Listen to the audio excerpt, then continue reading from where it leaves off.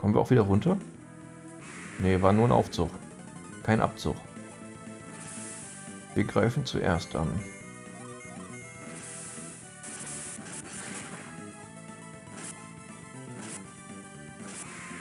Ja, ke keiner heult mehr großartig auf. Das ist ja furchtbar. Komm, wir rüsten uns um. Anlegen. Heißt drauf, ein bisschen äh, Angriff weniger, aber dafür heulen die Waffen öfter aus, auf, wodurch wir automatisch sehr viel mehr Schaden machen. Und bei ihm müsste der, das Tisiphon eigentlich grundsätzlich öfter aufheulen, denn vorher hatte er, meine ich, kein Armgerät, das die Ausweichrate hebt.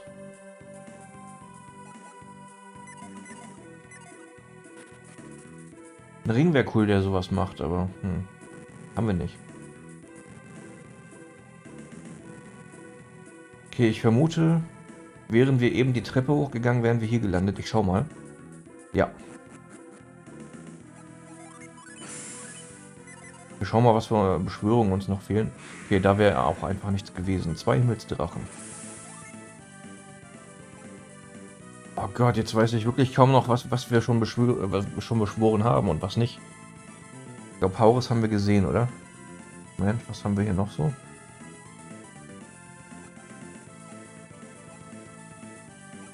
Desaster sah cool aus. Azur. Das war das mit dem Wasserzeug. Okay, Daedalus haben wir gesehen. Hm. Wir könnten noch mal Eclipse machen. Wäre was für Ivan.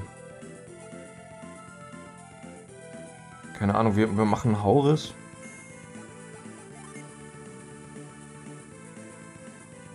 Was braucht Eclipse? Drei Jupiter, zwei Wasser. Merkur. Das heißt, einmal Desaster wäre übrig. Komm, hauen wir noch ein Desaster raus. Einfach weil es cool aussieht.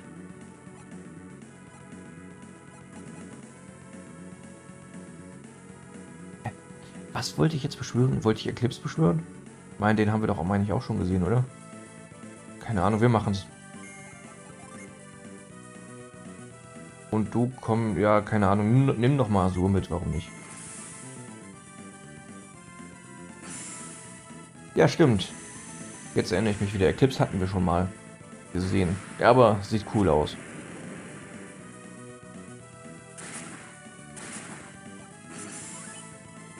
Ich glaube, ich glaub, die gehen auch drauf hier im Beschwörungszyklus. Genau, und der schlägt doch am Ende mit seiner Kralle zu, oder nicht? Ja. Und dann kommt noch so ein Feuerdings nach. So eine Feuerwelle, meine ich. Genau.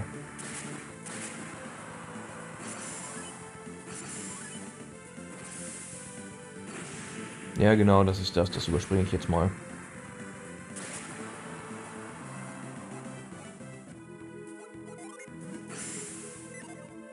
So, dann ist ein Jin schon mal bereit, was bereit gehen kann. Der Rest folgt noch. Irrer Dämon, Himmelsdrache. Ja, schon wieder die perfekte Kombination, egal. Zack, zack. Zack, zack, zack, zack. Kein One-Hit. Aber hier, wir sehen es gleich, Legende aufgeheult. Direkt nachdem ich die Ausrüstung gewechselt habe und seine Helios-Klinge prockt auch wieder.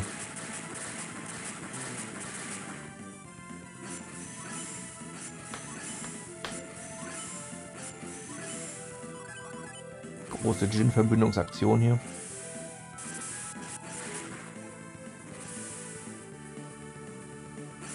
Ich glaube, so oft habe ich Excalibur noch nie aufheulen sehen, wie das jetzt der Fall sein wird.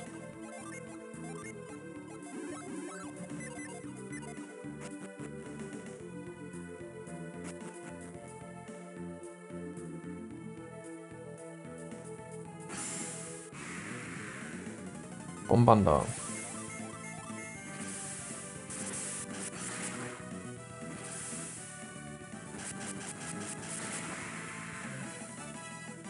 Hier irgendwer ist aufgestiegen und hat einfach nichts gelernt. Da können wir versanden, was uns gerade einfach gar nichts bringt. Oh ja.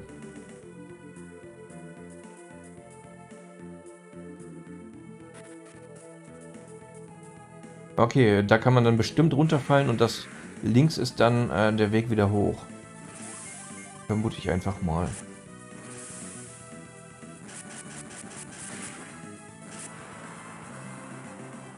Flott mit ihm. Okay, schauen wir mal. Ähm, wir gehen erstmal. Gott, ähm. Dürfen wir auch wieder... Ne, wir dürfen nicht wieder zurücklaufen.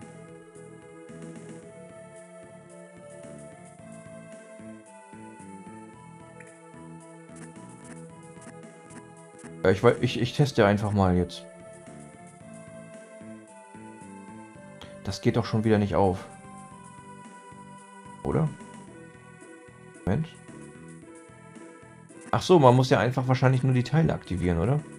Ist wahrscheinlich egal, ob man jetzt hier alle Bodenplatten einmal betreten hat. Das muss man, glaube ich, gar nicht. Gut, dann funktioniert das so. Schön.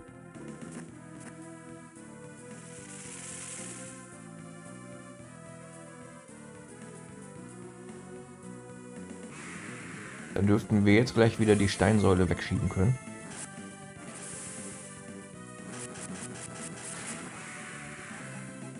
So, das Bananaphone hat ihn platt gemacht. Erstmal die Säule.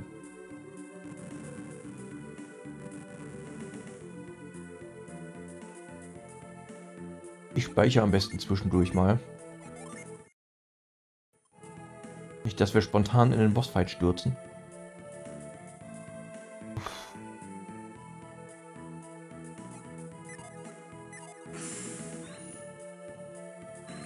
Okay.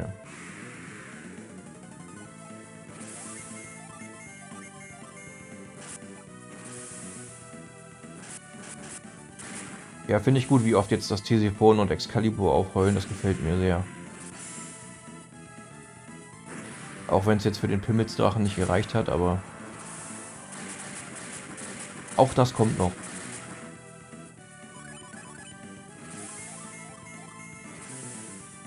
Falls ihr übrigens irgendwie effizient hochleveln möchtet, dann empfehle ich die Eilandhöhle, wo wir äh, gewesen sind. Da, wo die Wundervögel erscheinen können. Die haben richtig viel EP gegeben. Und wenn man so ein Team aus zwei Wundervögeln findet, ist das natürlich einfach richtig genial. Ich glaube, wir müssen erstmal runter, runter. Weil dann kann man einfach einen Wundervogel töten. Was wird das denn? Okay, weiß ich gerade nicht. Äh, darauf warten, dass der andere ihn regeneriert und dann wieder eintöten und da, sie dann immer regenerieren lassen. Ich glaube, das ist einfach der schnellste Weg, um EP zu machen.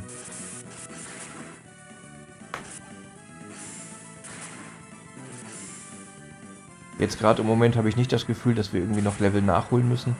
Deswegen machen wir das nicht. Aber sollte ich doch das Gefühl bekommen, werden wir es noch tun. Aber ich glaube, allzu viel kommt jetzt gar nicht mehr. Ich glaube, jetzt kommt noch das und dann noch der Endbosskampf im Marsleuchtturm. Und ich, ich glaube, das war's dann auch. Dann sind wir durch. Den dritten Teil von Golden Sun werden wir natürlich auch noch spielen. Immer noch in der Hoffnung, dass noch irgendwie ein Golden Suns Spiel für die Switch erscheint. Aber nicht sofort im Anschluss. Erstmal möchte ich gerne SteamWorld Quest fertig spielen. Das ist schon so lange pausiert. Ich hatte einfach keine Zeit dafür, dass ich das erstmal gerne machen würde. Oh. Hä? Okay. Nochmal. Aber auch da finden wir sicherlich noch die Zeit. Irgendwie bald. Äh, ich jetzt einmal rüber. Jetzt vielleicht. Ja, ja. Äh.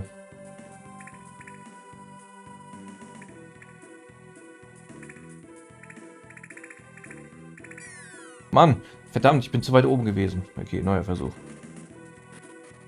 Aller guten Dinge sind drei.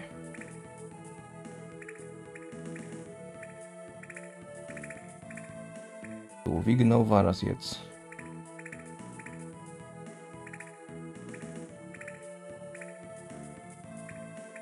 So ungefähr.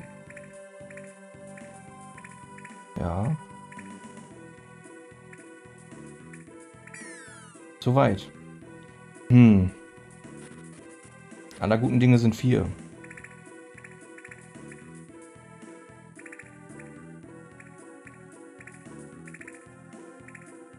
Mal schauen, ich muss einen so hin und... Oh. Ich glaube auch einen hoch, kann das sein? So, jetzt bin ich ein höher. Schauen wir mal.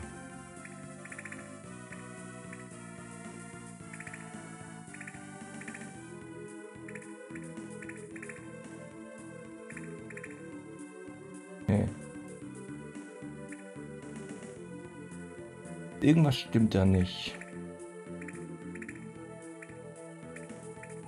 Vielleicht muss ich weiter unten sein, das kann auch sein. Versuchen wir es mal so. Mal schauen. Rechts rum. So, zack, bumm. So funktioniert es doch. Sehr schön. Okay, Stein Nummer 1. Hätte ich den runterschieben müssen? Ich, ich glaube, ich hätte... Ne, ist egal, ne? Ist, glaube ich, egal. Okay, ähm... Hm.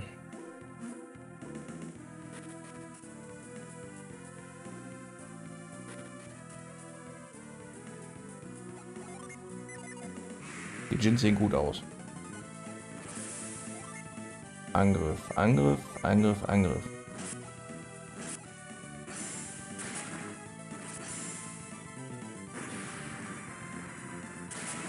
Gerade von den rechts hat keiner aufgeholt. Hitzelehmer. Könnten mal wieder Heilung vertragen.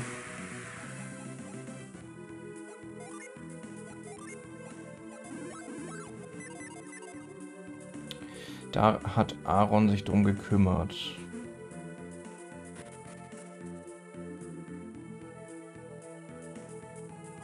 Wir gehen mal da durch.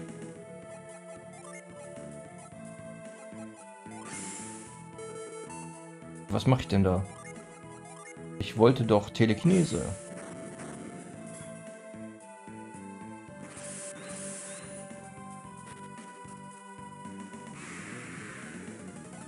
Grabeswicht.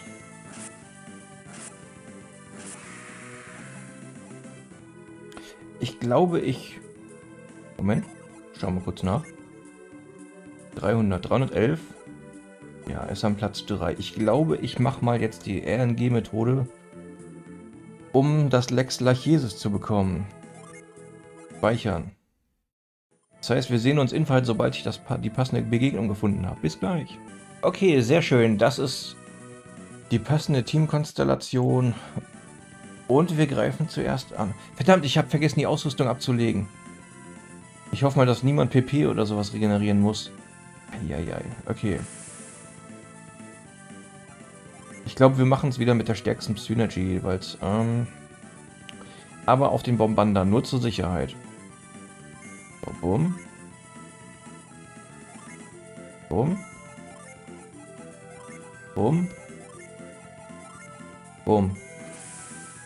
Schauen wir mal, wie viel Damage da auf den Dämon rumkommt. 130.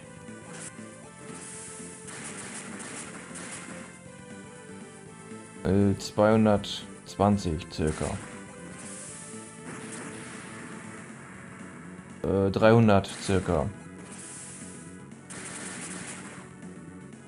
430 circa. Fuck, es darf keiner sterben. Und Ivan und mir haben... Okay. Versuchen wir es nochmal. Ich lege die Ausrüstung ab und wir sehen uns in der Konstellation oder in der ähnlichen erneut. Okay, sehr schön. Jetzt haben wir es wieder geschafft. Wir sind in der richtigen Teamkonstellation und greifen zuerst an. Okay, diesmal... Hm. Hm, hm, hm, hm. Ich würde sagen, ein bisschen schwächere und auf den irren Dämon fokussiert. Tonspitze. Eruption bleibt. Ja, Lichtplasma auch. Bei ihr machen wir Schaumkrone. Schauen wir mal, was dabei rumkommt. 71. 121, das macht circa 190. Äh. 290 circa. Ne, relativ, sogar genau, ne? Ich glaube sogar zwei, genau 290. Das heißt 374. Alles klar, du greifst ihn an. Du nimmst...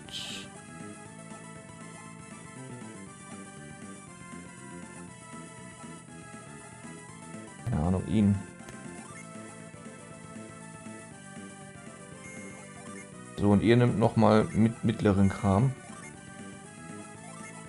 Und ich hoffe mal, dass das den jetzt nicht tötet. Keinen der beiden. Schon mal nicht tot. Keiner tot, sehr gut. Das heißt, das dürfte ihn jetzt finishen. Jawohl. Das heißt, wir sollten jetzt theoretisch Lex Lachesis kriegen. Ich bin gespannt. Und ich bin auch gespannt, was das überhaupt sein soll. Ob es eine Waffe ist, ob es irgendwie ein Hut ist oder keine Ahnung, Handschuhe oder irgendein Kram. Lex Lachesis. Oder ein Stab oder so, ich weiß. Ein Stab, okay. Ein Fesselt Apokalypse, das klingt aber cool. Stärkt ihren Angriff sogar noch. Ist ja geil. Okay, schön, dass ich euch da mitgenommen habe. Wenn ihr es genauso gemacht habt, habt ihr jetzt das gleiche äh, Ausrüstungssetup wie ich. Selbst wenn ihr den Atropa-Stab nicht durch Lack gekriegt habt. Ja, wir, wir speichern erstmal. Ja. Und jetzt bin ich natürlich auch sehr, sehr gespannt, was der entfesselt. Ähm, wir machen als erstes das Ding da weg.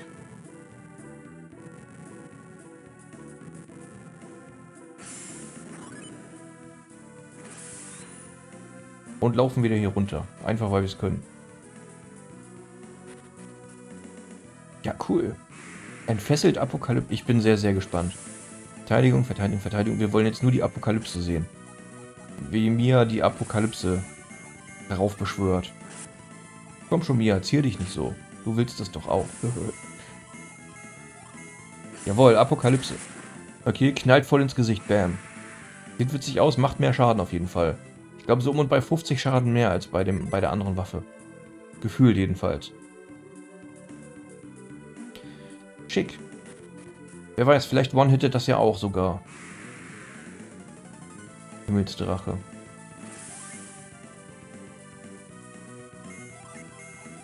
Nein. Angriff und so. Banana Phone. Und Legende. Sehr schön. Badaboom. Wirklich, Megiddo ist nicht effektiv. Es hat nur einen Punkt, kein Ausrufezeichen und macht immer noch äh, gute 650 Schaden. Das ist einfach enorm. Okay, hm, wir können jetzt machen... Oh, wir, wir können vor allem wieder die Ausrüstung anlegen. Das sollten wir nicht vergessen. So, du hast, glaube ich, was abgelegt. Genau, die Mysterienrobe. Die kann sehr helfen. Bei dir ist es die Rumkrone, die kann auch sehr helfen. Und vor allem die Irisrobe. Die hast du schon ins Auge gefasst, ne mir? Mal schauen. Bei ihm ist es auch irgendwas gewesen. Die Ashura-Rüstung. Ja, ich würde sagen, wenn wir mit dem Ding durch sind, bevor wir in den Marsleuchtturm gehen, gehen wir mal hier noch die Items durch. Die Mysteria-Karte, die Trainerpeitsche und das Tomagaterion. Wäre Name. Was hatte sie? Den magischen Taler auf jeden Fall. Die Rumkrone. Heb PP, heben KP. Ist, glaube ich, cooler. Noch PP. Sie trägt gar keine Stiefel. Was sind denn das für... Heben, Verteidigung und Widerstand. Egal, sie braucht eigentlich auch keine Stiefel. Eigentlich brauchen die alle hier nichts. Das ist einfach nur... Proforma. Aber ich glaube, die Erebus-Rüstung war richtig, ja. Was hatte er als Hand? Den Kriegshandschuhe, okay. Bedeutet das Egelschild oder der Egelschild, wie mehr könnte an Felix gehen. Tauschen wir mal mit komischen Ring. Den ich überhaupt gar nicht cool finde, weil der nur durch Benutzeneffekt irgendwie was bringt. Sonst bringt er einfach gar nichts. Finde ich echt kacke, das Ding, ehrlich gesagt.